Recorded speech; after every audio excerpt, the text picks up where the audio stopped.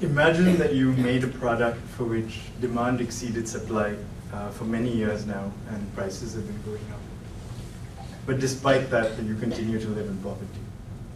Uh, this is not a hypothetical situation. Um, more than 300 million small farmers in India make food grains, fruits, and vegetables like these in very small farms of less than one hectare.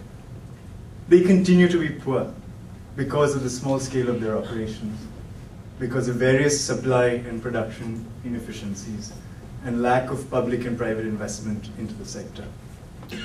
Just one striking example. More than 40% of agricultural produce spoils between farm and consumer. I want to create a venture capital fund for these farmers. I want to tie up with nonprofits working in rural areas to organize these farmers into companies, invest equity so that they in turn can invest in lo needed local infrastructure, give them management advice to make them more profitable, and connect them directly to bulk commercial buyers so that they can get more of the value of this vegetable.